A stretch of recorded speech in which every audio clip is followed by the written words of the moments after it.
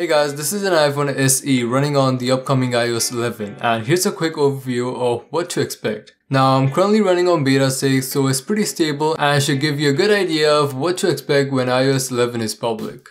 Now this is a beta and a lot of bugs that were previously here are now fixed but you'll still see some issues like the lock screen sometimes goes black and sometimes when you open the lock screen it kind of gives you an oversaturated image of your lock screen and then it goes back to normal after about 2 seconds. So that was the black screen and black screen once again. And that was the oversaturated image of my lock screen. So after a few seconds it goes back to normal. But other than that, the lock screen looks pretty similar to iOS 10. We do have a new animation where the lock screen goes up. But in my opinion, it looks pretty glitchy. Like I press the home button and the screen goes up and I get that but the entire transition isn't really smooth. And other than that, I'm not actually very impressed with iOS 11 in general. It does add some new features, but I was hoping for a change in UI as well. I mean, we had the same UI for quite some time now, so it's nice to see a refresh, and this is when you get bored of the same design and you go for jailbreaks to add custom skins and all. So rather than waiting for that, it's much appreciated to see a new UI from Apple directly. And that way, even devices that can be jailbroken or people who don't want to jailbreak their phone or don't even know how to jailbreak their phone all can enjoy the new interface. But anyways, the major change in terms of design is the control panel. You'll see we have a completely redesigned control panel and it can do a lot more now in terms of functionality and not only that you can now somewhat customize the control panel by going into settings, control center and then custom controls. So we have the top row which is default but everything else can be customized. So if you go into settings you can add, subtract and even rearrange controls. And I'll go through every single one of them in a bit but that's gonna take some time so before I do that let's wrap up everything else in terms of features. So with iOS 10 we do have the ability to record our screen now which is great and Apple has blocked screen recorder apps and all of that until now. So it's nice to see Apple finally deciding to let people do what they want. And if you actually start recording and go into apps like Snapchat, it won't even know you're recording. You can view stories and all and it won't find out. So you won't get any screenshot notifications or anything like that.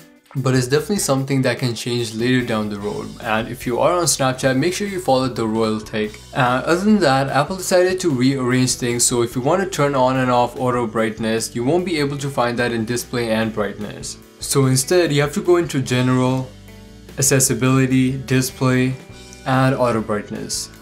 So just some things Apple wanted to rearrange, I'm not sure why, they might end up putting them back into their original places before it's all public, but we'll see. And going back into the settings, another added features in the settings menu is the emergency SOS. So it's a similar feature to what we can find on Android, so if you rapidly press your power button, you kind of get this screen and from there you can power off your phone you can go into medical ID where if you save any data there that can be accessed by anyone and if you slide the right one that will go to your local emergency center. But back to the phone, if you didn't notice, some apps have also received a facelift. So the icon map, that is new. The App Store icon is also new, iTunes Store, and even the calendar app now uses a thicker font than what we saw on the iOS 10. So both look fine, it's just something they've changed. And even things like that are nice to see, it's a good refresh and I hope other apps also receive a new icon before everything is public. But moving on, going into messages, we see this app icon with the updated logo and from here you can access things like App Store and send direct app links, digital touch and then kind of like GIFs, music, Bitmoji, so you probably know this if you have Snapchat, so you can access all Snapchat stickers here and send them directly in messages. And not only that, you can actually use them as actual stickers, so just hold and let go and it'll stick to place. But other than that, going into Notification Center, they've kind of combined Notification Center and the lock screen. So all your notifications are now viewed on the lock screen. So whenever you open the Notification Center, it actually brings you to the lock screen and that's why you can see the timer and everything and then you can slide down and you'll see all of your notifications as you would on iOS 10.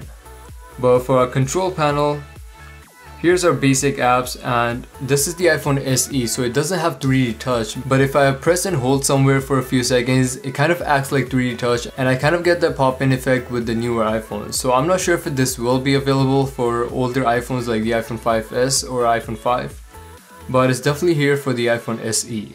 So other than that from the control panel we can now turn on and turn off personal hotspot so And our music player is now right over here and everything can be accessed right from here. So our next icon is to lock the screen position so you can just move your phone around and your screen position will stay locked. And next we had this before, this is do not disturb. It's the same feature but it's redesigned and we also get that animation when turning it on and turning it off. And after that here's our brightness so I can control the brightness right from here or I can press and hold and then it acts like 3D touch. And then I kind of get this bigger screen effect and from here I can also turn on night shift.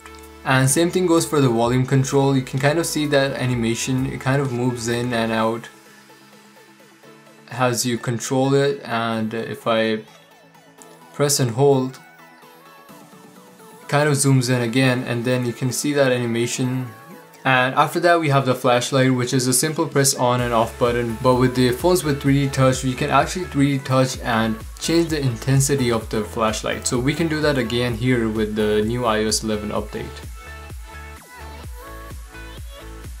And this is timer right here. So you can press here and it goes into timer. But if you it kind of acts like a shortcut so you don't have to go into the application. So I can go into 20 minutes start a timer and the timer is running and then I kind of get that badge so I know it's running. Well, let's go back into control panel. Our calculator has been redesigned. It's completely redesigned. It's a lot different than what the original uh, calculator looks like. So just to compare things, this is the iOS 10 and this is the iOS 11. So you can see the calculator is completely redesigned. But in terms of functionality, it works the same and I'm just gonna turn this as well. So no added features here, it's just a new design.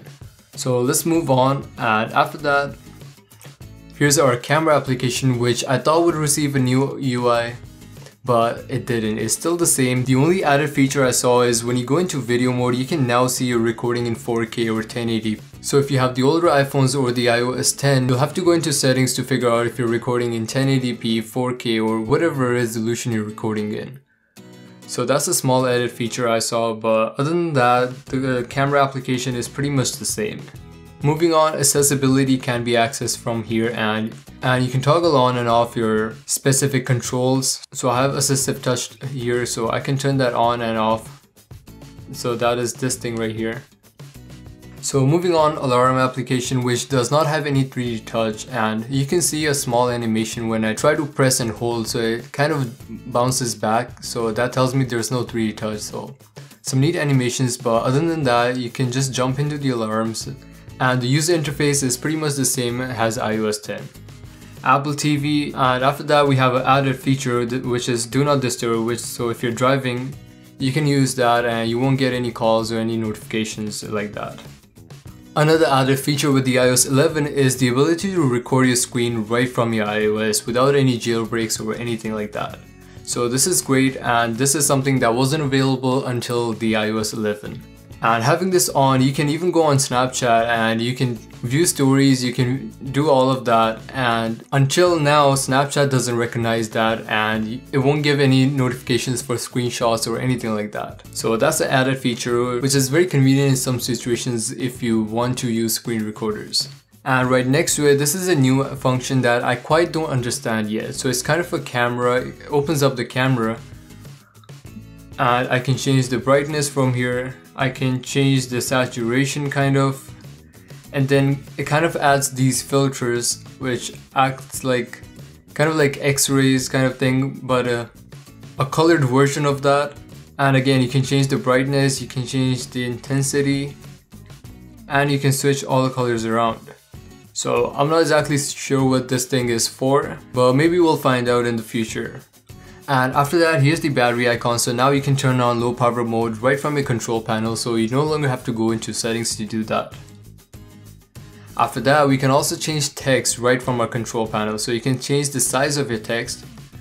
So I've just changed the size of my text and if I go back, I'll change into the max setting I could and you can see all the text right here and everything is a lot bigger now but I'll go back turn it into default and this is voice control and after that this is our wallet and this is our stopwatch. So that's all the features you can add into control panel and you can customize all these icons yourself. But overall, that was it for iOS 11. Let me know your thoughts about this and let me know if you want to see more videos like that. And as always, thanks for watching.